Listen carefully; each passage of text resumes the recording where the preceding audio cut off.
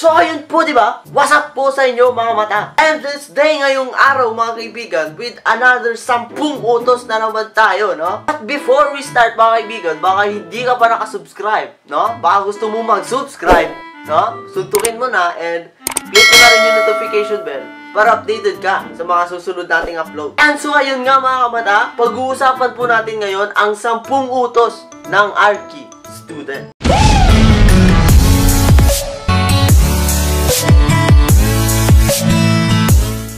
Number 1. Thou shall not inggit. Ito po mga kaibigan, yung mga Archie student na ano, wala na pong ginawa sa buhay kundi mag-inggit, no? Kumbaga mga kamata, ito po yung mga estudyante na wala na pong ginawa sa buhay, no? Kundi mainggit po sa mga gawa ng iba. Tapos ikukumpara po yun sa kanya, no? Tapos sasabihin niya na napakapangit daw nung sa kanya kumpara dun sa mga ibang plates. No? And another mga kaibigan, ito po yung mga estudyante na parang wala pong tiwala sa sarili nila. ba? Dahil lagi nilang kinukumpara yung plates nila sa iba. Dapat huwag mong ikumpara, no? Number two, thou shall not mantika. Ito po mga kaibigan, yung mga Archie student? Na wala na pong ambag sa mundo kundi matulog, na? Na kahit wala pa nagagawa, sarap po buhusan ng mainit na tubig para lang hindi makatulog. Ito po mga kaibigan, yung mga estudyante, no? na kahit iwasan nilang antukin, na kahit pigilan nilang matulog, ay talagang hindi po nila mapipigilan, no? Kumbaga mga kaibigan, malakas po yung spirito ng antukin sa kanilang katawan, no? Mga kung saan, hindi nila namamalayan na natulog na pala sila. At ang malala mga kaibigan, paggising nila ay andyan na po ang uh, pagsisisi, no? Andyan na po yung... No, God! No, God, please, no! No! andyan na po yung mga kung ano-ano mga reklamo, no? Na pumapasok sa kanyang isipan. Tapos, no? Parang gusto niya pong uh, ilabas yung galit niya dahil nga nakatulog siya at hindi niya po napigilan. Number 3, thou shall not burara. Ito po yung mga Arki student, mga kaibigan, no? Na ang kalat po ng mga gamit. Kumbaga mga kaibigan, halo-halo na po yung mga gamit niya. Sa sobrang dami nga po ng gamit ng isang Arki student. Parang hindi mo alam kung ano yung mga itatapon at yung mga nagagamit sa hindi nagagamit, no? Nasa sobrang kalat, mga kaibigan, ay pag naglinis ka, ay matatapon kang mga gamit na pwede pa palang gamitin. Ito po ay isa sa mga dahilan, mga kaibigan, kung bakit matagal pong matapos gumawa ng plates ang isang Arki student. Dahil na rin sa kalat-kalat niyang gamit. Kumbaga, mga kaibigan, sa sobrang gulo po ng gamit niya, ay magulo na rin po yung isip niya, di ba? Kaya sa susunod, ayus-ayusin yung mga gamit nyo para maayos din yung isip nyo. Number 4, thou shall not puyat. And ito po mga kaibigan, no? Ito po mga kaibigan, yung mga lagapak pong issue sa aming kaganapang Ito po yung mga kadalasang nai-issue sa amin, no? Mga RG student, na laging puyat ng puyat. Kaya sa mga kapwa ko mahilig magpuyat dyan, ay matulog din naman kayo para di tayo magkasakit. Kaya sa mga nagsasabing hindi natutulog daw, no? Ay kakaiba naman po yun. Parang hindi na buka panipaniwala, hindi ka natutulog. Hmm? so, kailangan din natin matulog, ha? Ha? Huwag ka magpupoy, ha? Mukhang gayahin. At lagi mong tatandahan, kamata, na health is wealth. Ha? Kuha mo? Health is wealth. Mama? Number 5. Thou shall not pasikat. Ito po mga kaibigan, yung mga Archie student, no, na wala na pong ginawa, kundi magpasikat. Ito yung mga klase ng estudyante, na wala na pong ambag sa mundo, kundi ipasikat yung mga ginagawa niyang plays. At ikalat sa buong mundo, na siya ay magaling daw. Gusto mong, gusto mong makatikim ng magaling? Ha? Gusto mong makatikim ng magaling? Alam namin, magaling ka, ha? Huwag mo nang ipamukha sa amin dahil kaming hindi magagaling ay nasasaktan. Huwag naman ganon, ha? Alam namin, magaling kayo. Huwag niyo ipamukha. Number 6, thou shall not marupok. Ito po mga kaibigan, yung mga Arki student na marupok po, no? Hindi po sa love life. Kung baga mga kaibigan, mabilis pong mauto.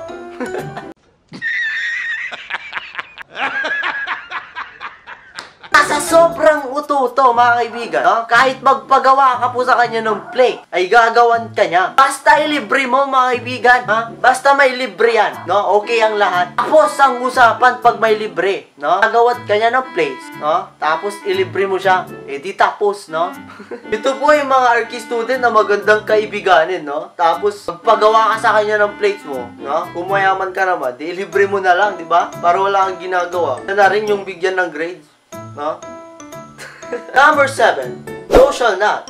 Tulala. Ito po mga kaibigan, yung mga archi student na lagi pong nawawala yung isip, no? Kumbaga, lagi pong lumilipad yung utak nila tuwing gumagawa ng plates. At dahil wala silang ideya kung paano umpisan yung plates nila, ang gagawin po nila ay makikipagtitigan, no?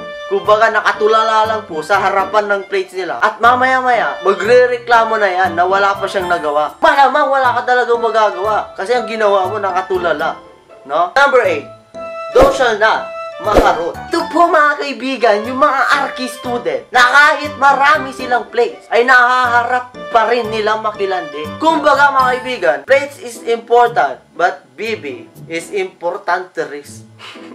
important risk, no? Sana all kasi may BB, ha? Sana all may BB. Gusto mo ng BB? Ha? BB tayong kita, gusto mo? Number 9, thou shall not maarte. Ito po mga kaibigan, yung mga archi student no, na hindi po nakukontento sa mga kung ano yung mga ginagawa nila. Na kahit maganda na yung ginawa nila, ay hindi pa rin sila nakukontento. Inuulit pa rin nila. Ang daming time, di ba? Sana all. Ito po yung mga klase ng estudyante, no? Na mala, sa sobrang arte mga kaibigan, ginagawa po nilang mala magazine po yung plates nila, no? Na kung ano-ano po mga nakalagay dyan. Ha? Tapos kung ano-ano rin mga kulay na pinaglalagay. Mga pag maganda lang. Ito po yung mga archi student na masarap pong punitin yung mga plates nila, no? Kasi sa sobrang arte, na eh, napakaganda po ng mga gawa nila sa sobrang arte nila. You wanna know why? And the last one, number 10. Thou shall not iyak. Ito po mga kaibigan, yung mga archi student, no? Na nakakalungkot po yung buhay, di ba? Bukod sa wala po silang magawa sa kanilang buhay, at bukod sa wala po silang maisip sa kanilang gagawin, at bukod rin sa napakapangit po nilang place, madalas po silang umiiyak dahil iniisip po nila na baka naligaw lang po sila ng course, na baka hindi nila deserve yung course nila. Ang ginagawa nila mga kaibigan ay tamang iyak lang, baka sakaling maawa po yung course nila, no? At ipasa sila, ha? Mahirap po yung ganitong sitwasyon mga kaibigan, no? Yung feeling mo ayaw ka ng course mo, kahit gusto mo naman yung course mo. You feel that, ha? You feel me? Yung gusto mo yung course mo pero parang ayaw ka niya. It really hurts, di ba? Parang gusto mo na lang maging unggoy, no? parang gusto mo na lang maging ibon, no? Tapos lipad ka na lang kung saan-saan. so, ang hirap po ng ganito, no? Yung parang feeling mo, ayaw ka ng course mo. So, kaya swerte po ng iba dyan, no? Kung nag enjoy kayo sa course nyo, ay, no? You are so blessed, no? Kumbaga, mapalad po kayo. So, keep it up, no? I-push nyo lang yan, and soon, magiging uh, professionals din tayo. So, yun lang mga kamata, and hope you like the video mga kaibigan, and baka hindi pa kayo nakasubscribe, no? Baka gusto nyo mag-subscribe, at i-click nyo na rin yung notification bell para updated po kayo sa mga susunod nating uploads. And syempre, bago ang lahat, magsha-shoutout muna tayo. Shoutout kay Reynald Calugas, and shoutout din kay Rohan Manzano. And syempre, shoutout din kay Ruanji Rubang.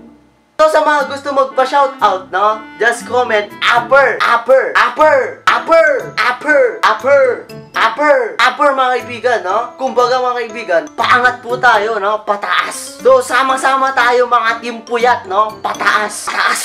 No? So hanggang dito na lamang, hanggang sa muli, mga team puyat. Peace!